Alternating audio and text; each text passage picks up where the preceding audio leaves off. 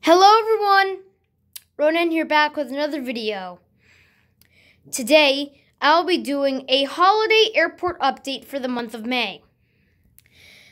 And the holiday representing for this update, well, I'm I kind of reversed the words there, but the what the holiday that this airport update is representing is Mother's Day. And as you can see, the update is of Medford, and this is the first airport update of Medford ever since it moved over into this room. The other two have were uh, in its other in its other spot, but yeah, I uh, don't really have a lot to say, but I do want to say I do want to apologize for uploading for two days in a row. I was planning on doing this video for a long time, and then but then I forgot about it um, the day before I, the day before the, I uploaded this video and I uploaded the 1 in 400 collection video, but other than that, um, I just want to say the uh, American 737 right there, I'm saving that for last. It's uh, very special, but a hint, but yeah. So you can, until the, until that part, you can think about what's going on, but yeah. So that's all I have to say, so let's get started with the update. Beginning with the update, we have an Alaska Airlines E-175, which just landed from Los Angeles. Waiting for its, waiting for the E-175 to leave the runway, we have Alaska Airlines Q400 and the Horizon Air Retro livery, which is waiting for its, which is waiting to take off for Seattle. Beginning with the terminal, or the planes parked at the terminal, we have a Delta CRJ 200, which will be heading to Portland. Beginning with the Horizon Air section, we have an Alaska Airlines Q400, which will which just arrived in from Portland. Just pushing back, we have an Alaska Airlines Q400 in the old livery. This is pushing back to head for Seattle. Over here at the American Eagle section, we have an American Eagle, well, we have an Alaska Airlines CRJ 700 operating for American Eagle and this will be heading out to the only route of Phoenix Sky Harbor. I just added this part as the cargo section of uh, Medford.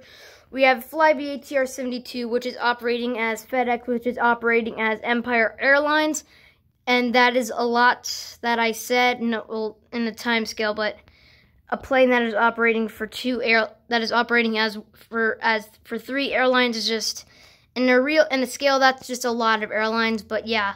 This will be heading to, well, this just arrived in from Portland and, and will be soon heading back to Portland. And finally, the moment that you've technically been waiting for, you, prob you probably weren't expecting this, but we have a American 737, which is not American Airlines, but it is something else.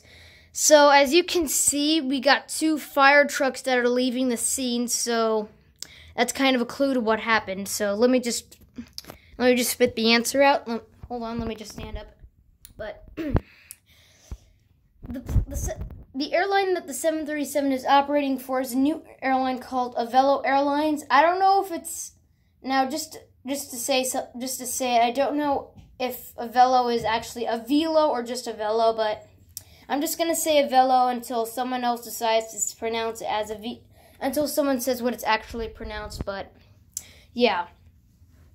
Avelo is a new airline that started uh, earlier this year. It is headquartered in Burbank, and this is a little underdue, but Avelo is going to start service to Medford on May 12th. But since I'm doing a Mother's Day airport update, well, technically, well, not, it's not, well, since I'm doing a Mother's Day airport update of Medford, I decided to add it in there just because yeah, so this, so the uh, 737 operating for Velo has just finished with the water cannon salute. That is why the fire trucks are there. But this has just arrived in from Burbank.